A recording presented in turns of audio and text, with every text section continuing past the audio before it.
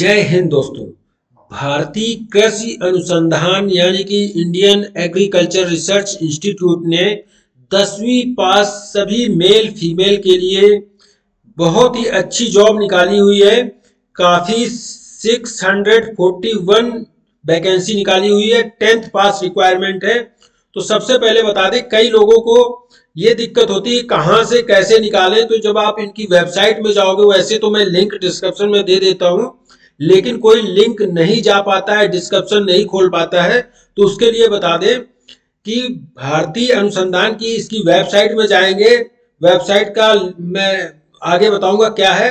जैसे ये खुलेगा तो आपको क्या करना है, सबसे पहले या तो आप रिक्रूटमेंट सेल में जाएँ, इसके बाद टेक्निकल टी वन में क्लिक करेंगे तो आपको वो नोटिफिकेशन मिल जाएगा। नहीं तो इसमें एक ये न्यू दे रहा है न्यू में क्लिक करेंगे जैसे इधर क्लिक करेंगे तो आपको एक खुल जाएगा।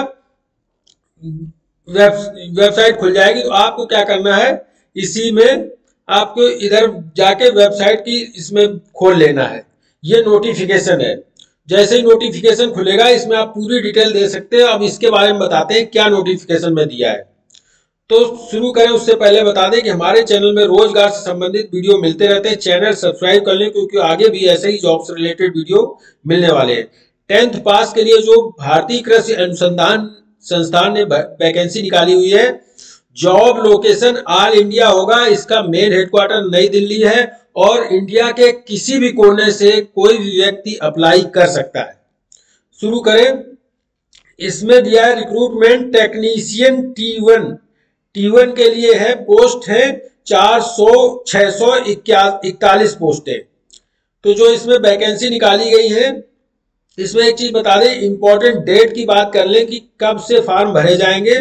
तो फॉर्म ऑनलाइन भरने की डेट है 18 दिसंबर 2021 स्टार्टिंग डेट और जो फॉर्म भरने की लास्ट डेट है 10 जनवरी 2022 तक फॉर्म भर सकते हैं। और फ़ीस जमा करने की 10 जनवरी 2022 है फ़ीस 10 जनवरी 2022 तक जमा होगी।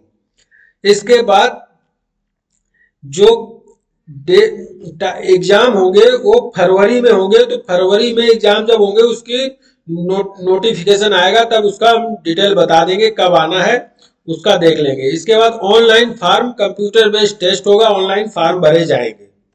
वैकेंसी डिटेल देख लेते हैं बहुत ही काफ़ी अच्छी मात्रा में वैकेंसी निकली 641 वैकेंसी है टोटल और जिसमें कि अनरिजर्व 286 है 286 वैकेंसी ईडब्ल्यूएस की 61 वैकेंसी एससी की 93 वैकेंसी एसटी की 68 वैकेंसी ओबीसी की 133 वैकेंसी एक्स सर्विसमैन की आठ वैकेंसी है, जिसमें रिजर्वेशन पर्सन डिसेबल पर्सन की छह अलग से वैकेंसी है और इसके बाद बाकी जो डिसेबल हैं, उनको पता है किस कैटेगरी में डिसेबल मान्य होते हैं। ये वैकेंसी डिटेल होगी, इसके बाद सैलरी की हम बात कर लें। सैलरी काफ़ी बड़ी मात्रा में है तो सैलरी ग्रेड लेवल थ्री की मिलेगी, वो आगे बात करेंगे। इसके पहले बात कर लेते हैं क्वालिफिकेशन रिक्वायरमेंट क्या होगी जब आप फॉर्म भरेंगे। तो सिर्फ़ और सिर्फ़ टेंथ पास मांगा गया है किसी भी रिकॉग्नाइज बोर्ड या इंस्टीट्यूट से। और इसमें एक चीज़ दिया है कि अगर जिसके 59 परसेंट मार्क है उसको 60 परसेंट के लेवल में माना जाएगा। उसका परसेंटेज आगे पीछे देख कर लिया जाता है।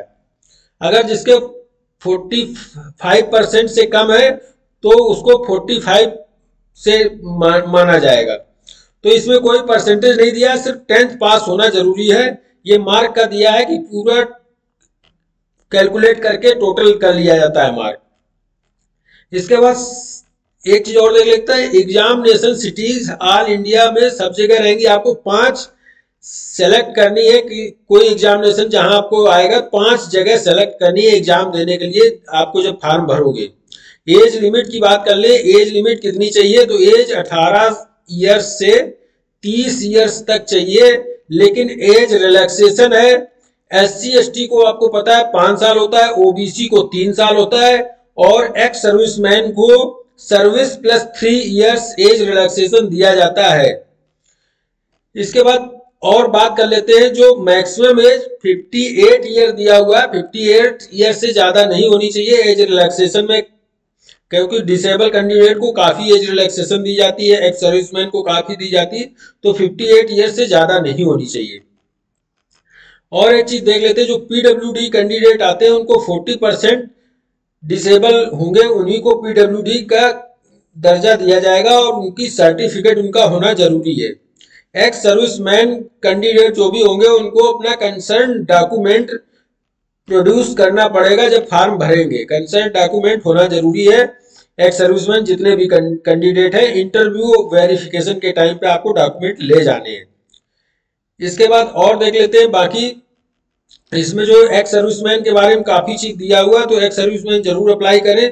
कम लोग अप्लाई करते हैं तो एक्स सर्विसमैन ऐसा मौका छोड़े ना। क्या क्या लेके जाना है एक्स सर्विसमैन को? डिफेंस सर्विस पर्सनल सर्टिफिकेट इसके बाद अंडर टेकिंग सर्टिफिकेट जो आप रिटायर होते तब मिलती है। डिस्चार्ज सर्टिफिकेट आपको ले जानी है आर्मर्ड फोर्स से जब डिस्चार्ज होते हैं, उसकी सर्टिफिकेट इसके बाद अप्लीकेशन फ़ीस देख लेते हैं। अनरिजर्व ओबीसी एनसीएल ईडब्ल्यूएस को एक हज़ार रुपए पेड करनी है। लेकिन women S C S T ex serviceman को सिर्फ़ और सिर्फ़ तीन सौ रुपए पेड करनी है। काफ़ी कम मात्रा में फ़ीस है, ज़रूर अप्लाई करें। एक्स सर्विसमैन इसके बाद बाकी इसमें डिटेल फॉर्म कैसे भरना है एग्जामिनेशन क्या क्या होगा प्रोसीजर हंड्रेड नंबर का एग्ज़ाम होता है, वो पूरा इसमें नोटिफिकेशन में दिया इसका लिंक मैं डिस्कशन में दे दूँगा, उसके थ्रू आप भर लें। इसके बाद कैसे अप्लाई करना है, इनकी वेबसाइट में जाके आप अप्लाई कर सकते हैं, इसका भी लिंक मैं डिस्क्रिप्शन में दे दूँगा, नहीं तो मैंने दिखाया है कैसे आपको जाना जाना है उसके थ्रू अप्लाई करना है। पूरे स्टेप इसमें दिए हुए हैं, कैसे अप्लाई करना है, नहीं तो आप जन सेवा केंद्र से भी अप्लाई कर सकते हैं, जाके उधर अप्लाई कर सकते हैं। डॉक्यूमेंट लेके जाना पड़ेगा और अप्लाई कर ले। ये था कृषि अनुसंधान ने जो वैकेंसी निकाली है, काफ़ी अच्छी मात्रा में है और सिर्फ़ टेंथ पास है। वीडियो अच्छा लगा हो तो लाइक करें चैनल सब्सक्राइब कर लें, क्योंकि आगे भी ऐसे ही जॉब से रिलेटेड वीडियो मिलने वाले हैं। थैंक यू जय हिंद